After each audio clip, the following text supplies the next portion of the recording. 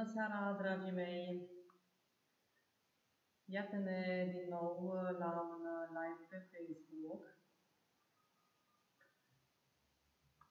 Sunteți alături de mine la o nouă emisiune intitulată Modulii pe voce. O emisiune, spun eu, pentru că sunt obișnuită cu emisiunile pe care le făceam în trecut. V-am pus um, aceste filmulețe demonstrative pe Facebook Uh, despre um, acea tehnică de growl, growling pe voce, acea răgușală pe care o fac unii artiști atunci când cântă. Pentru cei care mă urmăriți, dacă nu știți cu cine aveți de-a face, numele meu este Olga Shine și sunt uh, vocal coach sau profesor de canto cu uh, o experiență de peste 30 de ani de cânt. Pentru început, v-aș ruga să îmi scrieți în comentarii dacă mă auziți și mă vedeți. Eu uh, nu am control la lucrurile astea. Sper că de data aceasta să fie ok.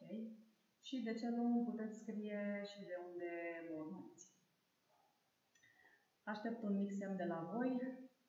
Uh, așa cum vă spuneam mai devreme, uh, acest intro pe care l-am făcut la început era tocmai pentru a evidenția acea răgușală pe voce, răgușală pe care dacă um, o faci, încerci să cânti și uh, o faci atunci când cânti, necontrolat sau fără un exercițiu în prealabil, din păcate s-ar putea să îți uh, traumatizezi vocea în așa fel încât să ajungi să faci modul pe voce. Um, Aștept un mic uh, comentariu acolo că se aude, mai puțin important dacă se vede. Puteți să-mi scrieți în chat dacă mă auziți. Um, așa cum uh, spuneam la început, mă bucur că ești uh, alături de mine și uh, mă urmărești. Asta înseamnă că ești interesat să afli informații noi cu privire la cântatul cu vocea. Dacă ai ajuns uh, în acest live întâmplător, te invit astăzi să afli despre nodulii vocali sau pe voce. Ce să vă, cu ce să încep? Să vă spun uh, cam ce sunt aceia noduli vocali, ce înseamnă. Păi uh, sunt niște uh, formațiuni, uh, um, pot să le spun uh, de genul uh, bășicilor care se fac la picioare, de la pantofi, da? la zona călcâierii, să zic. Acestea se uh, fac la nivelul uh, coardei vocale sau a coardelor. Sunt mici uh, leziuni hematoase în porțiunea superficială a marginii libere a corzilor vocale. După cum știi, în gât, aici, la nivelul laringiului, avem două coarde vocale poziționate așa și probabil că ele, prin frecare sau prin forțare, prin uh, traumatizarea lor, așa cum ai văzut mai devreme când s-a făcut acel growling, growling de voce, um, se poate ajunge la moduli.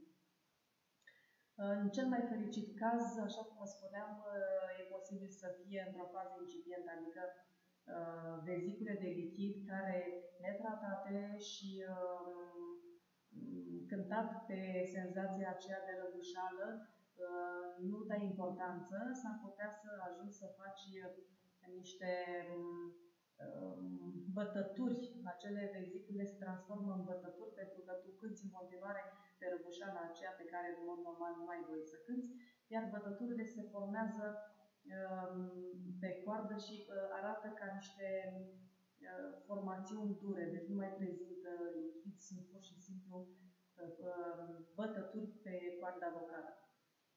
Așa cum vă spuneam la început, cauzele apariției uh, acestor uh, vezicule cu lichid în prima fază sau bătături, evident că sunt variate.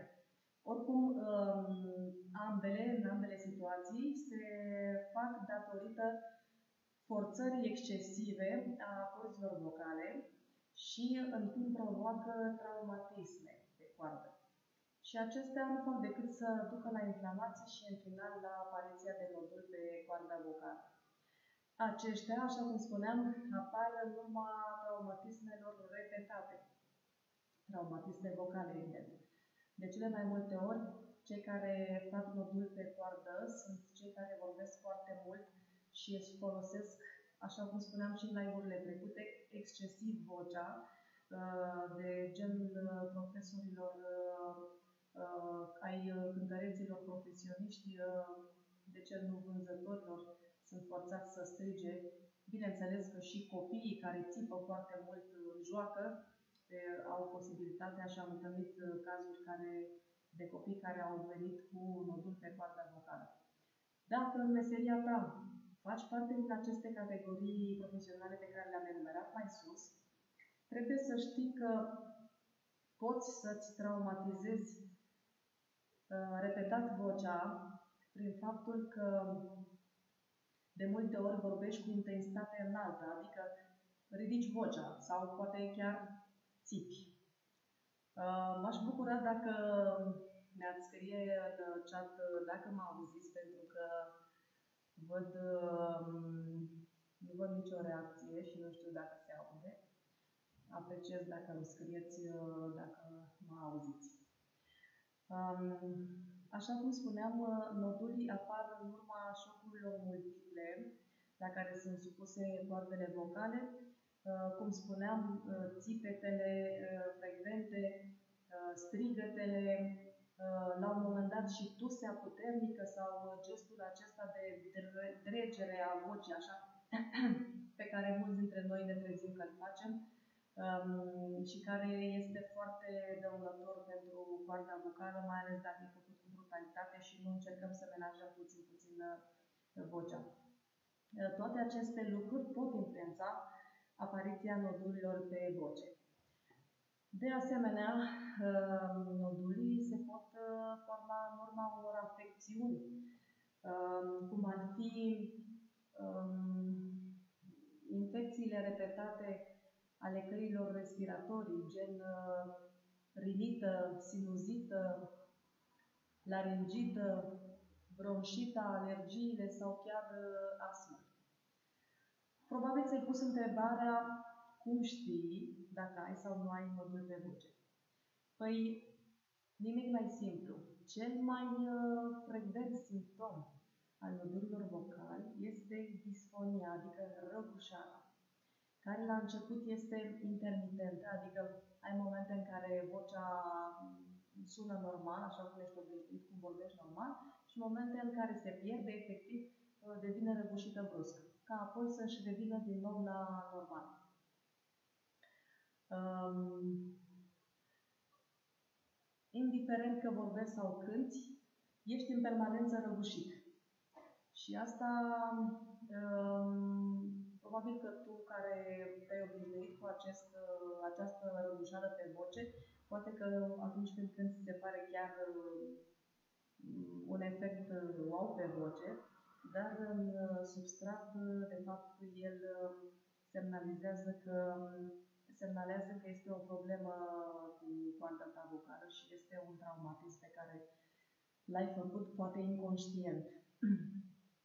De multe ori, așa cum spuneam, răgușala poate să fie însoțită și de tuse seacă persistentă sau senzația că ai uh, un corp străin la nivelul gâtului și simți nevoia, așa cum spuneam mai devreme, să cureți, să faci. Unii fac uh, foarte rău această curățare. Uh, eu m-am obișnuit să mm, îmi curăț gâtul uh, puțin mai soft, să nu, mă, să nu traumatizez foarte tare poarta. Dar uh, am auzit și aici la orele pe care le predau mulți copii care nu-și dau seama de efectul dur pe care îl au aceste curățiri de voce și de fiecare dată le atrag atenția și le spun că trebuie să ai puțin grijă cu vocea lor. Unii indivizi, dar mai ales profesioniști vocali, pot sesiza în perioadele incipiente că au vocea obosită sau uh, că le este imposibil să atingă sunetele înalte sau subțiri. Deci, în concluzie, dacă poți uh, cânta și vorbi normal, fără să se audă niciun fel de răgușeală pe voce, stai liniștit, ești în regulă din punct de vedere uh, al sănătății coardelor vocale.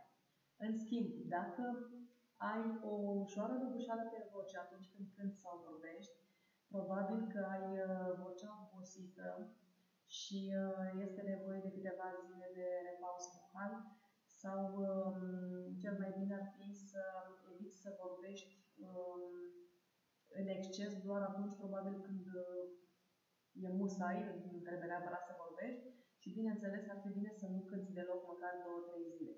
Și apoi urmărește să vezi ce se întâmplă. După două, trei zile, vezi dacă s-a schimbat ceva în bine.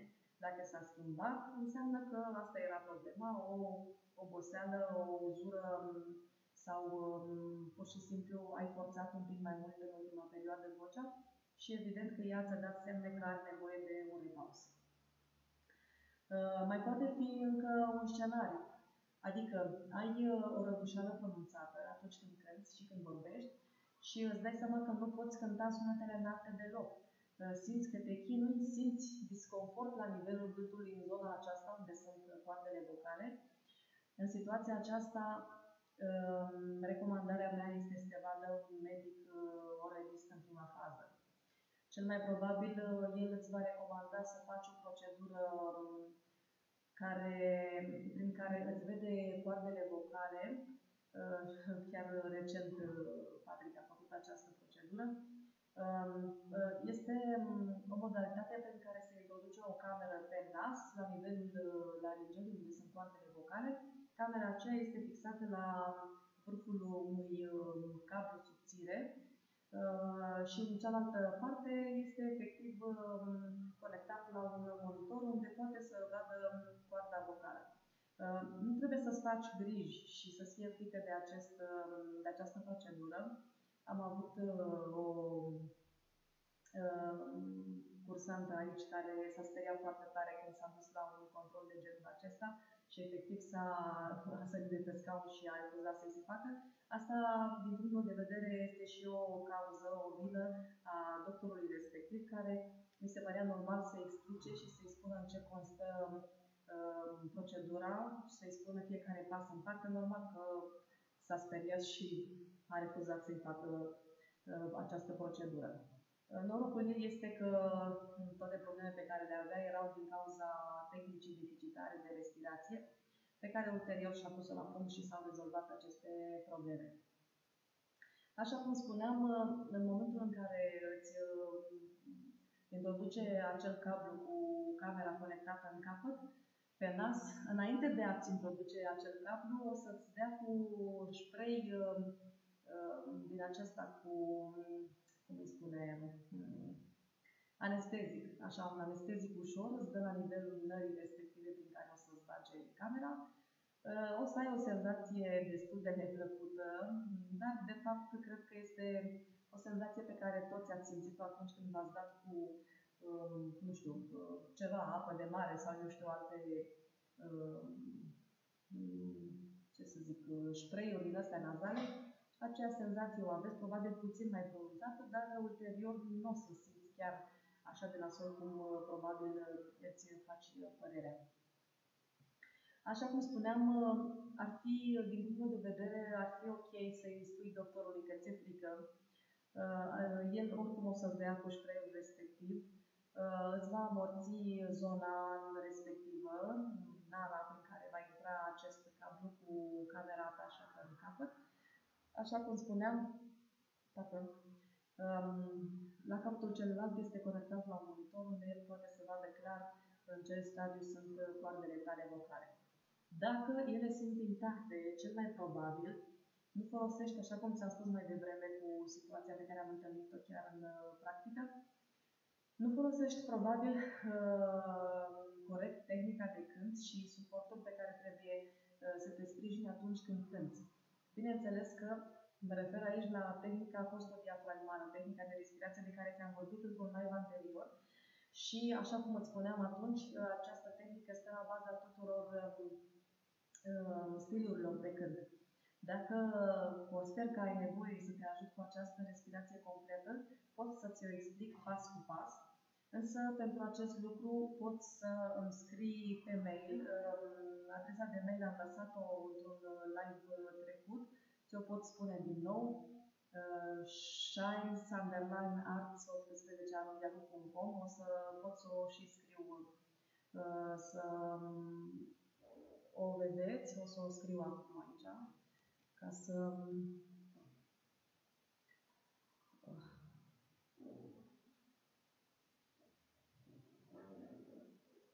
mai bine vă dau mai târziu pentru că am, am făcut aici o, o întreagă nebunie ca să pot să fac acest live.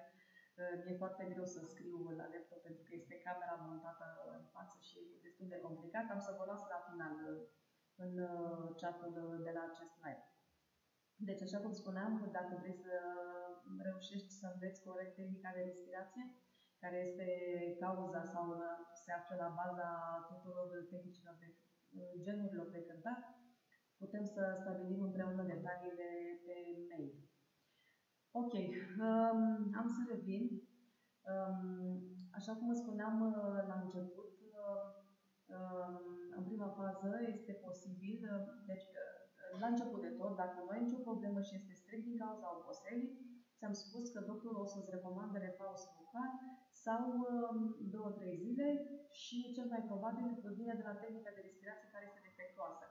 Dacă cumva descoperă la nivelul coardei vocale acele mici vezicule cu lichid sau vășicuțe, așa cum ți-am spus mai devreme, fix așa cum facem la călcâie sau la picioare când purtăm o pereche de pantofi noi sau ne strâng și așa mai departe, uh, doctorul cu siguranță îți va recomanda repaus vocal și poate ceva uh, tablete pe care le poți um,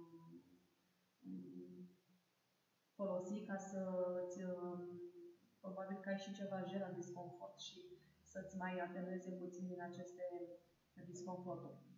Dacă ai avut uh, simptomele descrise mai devreme și totuși ai continuat să cânți pe răgușeală, îți dai seama că acele vezicule cu lichid s-au transformat în bătături și uh, în această situație, din păcate, de cele mai multe ori, uh, bătăturile acestea nu pot fi tratate decât pe cale chirurgicală. Adică trebuie să te operezi ca să ne poți elimina.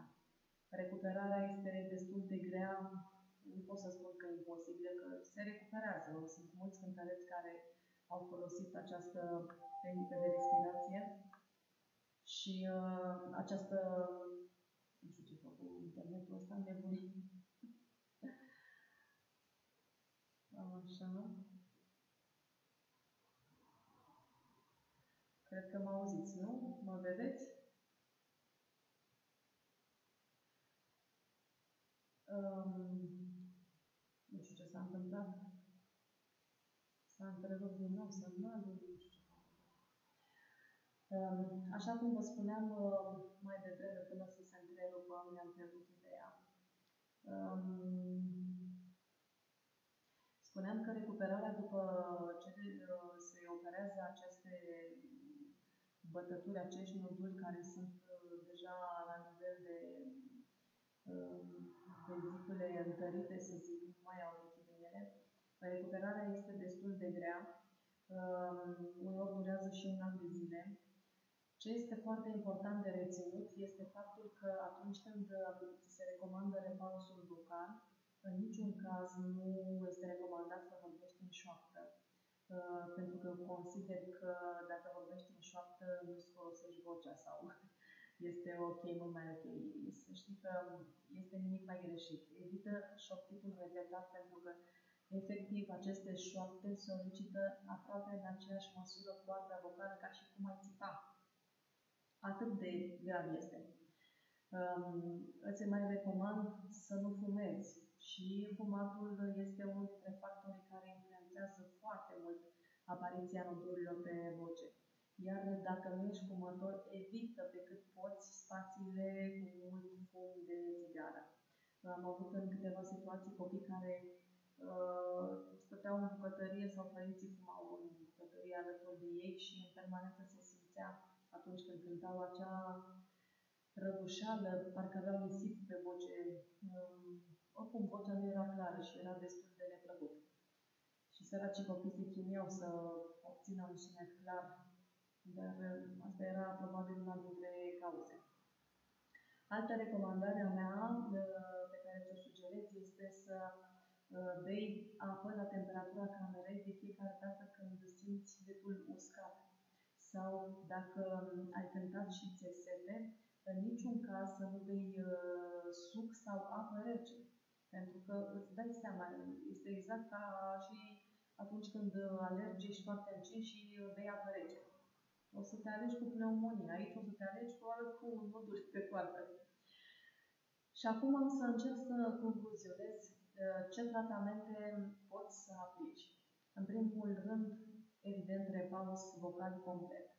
Atunci când um, nodurii sunt foarte mici și moi, uh, așa cum ți-am spus, uh, adică vezicule cu lichid, pot fi tratați cu antiinflamatoare, dar acestea se iau la recomandarea medicului orelist sau începerocar, al medicului de familie. Uh, ulterior, la recomandarea medicului foniatru, poți să faci exerciții fonetice pentru restabilirea funcției corzilor vocale, dar și prevenirea reapariției nodurilor. Efectiv, consideră că ești un bebeluș care înveți din nou să mergi, cam așa ceva. Ești un bebeluș care înveți din nou să vorbești și ulterior să cânti. Um, cum poți preveni? Probabil te-ai întrebat vreodată cum poți preveni apariția nodurilor pe cozile vocale. Nimic mai simplu. Ai grijă de vocea ta, nu abuza de ea. Dacă ești cântăreț, profesor sau prezentator TV, ia pauze în care să-ți odihnești vocea. Nu întâmplător. Ehm, și la filarmonică sau în, în instituțiile acestea de cultură unde se folosește foarte mult vocea. Ehm, se fac pauze frecvente. Vocea este instrumentul la purtător. Dacă nu faci pauze și cânti în continuu, cât crezi că o să poată să te ducă? Nu o să te ducă la infinit. Atunci când am copii la clasă, la oră, facem două, trei vocalize, pauză, unul, doi, iar două, trei vocalize, iar pauze. Nu putem să cântăm de la început până la sfârșit 50 de minute non-stop. Nu e normal și mai ales pentru un copil. Um, dacă ești părinte, acum că tot a venit vorba despre copii, te rog să te asiguri că um, cel mic folosește tehnici vocale adecvate pentru a evita apariția tensiunii de la vârstă fragedă. Adică, în momentul în care vezi că copilul se chinuie, produce sunetele cu greutate, se roșește la față, îi se umflă venele pe gât, exagerat și, și mai grav, răbușește după ce a cântat, schimbă profesorul. Nu e ok. Ori profesorul explică și copilul nu poate să, um, să, să, să înțeleagă sau să aplice ceea ce îi se explică, ori nu se explică ce trebuie. Uh, trebuie să înțelegi că mm, atunci când copilul răbușește când cântă, nu e ok. Uh, scapă, din nou îți spun, de obiceiurile toxice și evită produsele care pot să-ți țirite nasul și gâtul. În final, pentru orice suspiciune pe care o ai la nivel de uh, voce, răbușală, nu știu, alt disconfort pe care îl simți la nivelul laringelui, îți recomand să programezi o întâlnire cu medicul de familie. Acesta, printr-o examinare simplă și nedureroasă, poate confirma dacă există sau nu o problemă. Dacă este o problemă ce îl depășește, evident îți va face recomandarea să mergi la un doctor specialist, orele, la orele sau medicul orelist în primă fază. Acesta a fost subiectul pe care am vrut să-l discut cu tine astăzi.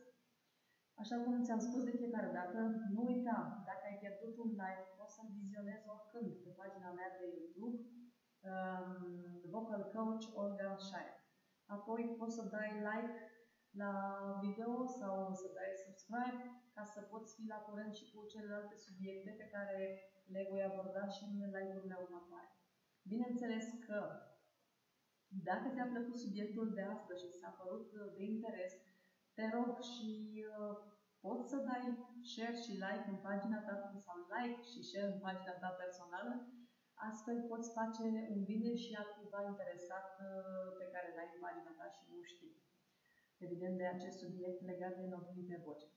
De asemenea, dacă îți dorești o evaluare a tale muzicale, Dacă vrei să înveți, așa cum ți-am spus mai devreme, tehnica corectă de respirație sau dacă ai alte întrebări legate de cântat, te aștept să-mi scrii pe adresa de mail shines underline arts 18 Cam acesta a fost live-ul de astăzi. Să ne